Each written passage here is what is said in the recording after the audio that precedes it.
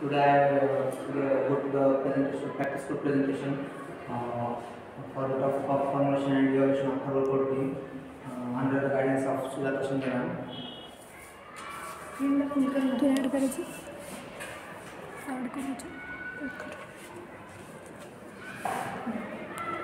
Table of contents, payment of literature survey, then offer 100 I am to information and derivation of herbal protein objective to formulate and evaluate our personal herbal protein following scheme by the herbal protein. Herbal protein आपण skin ग्लोविंगसाठी use करतो म्हणजे बनवतो to evaluate safe to evaluate safety and quality of herbal protein स्किनच्या सेफ्टीसाठी पण बनवतो तो synthesis synthesize of protein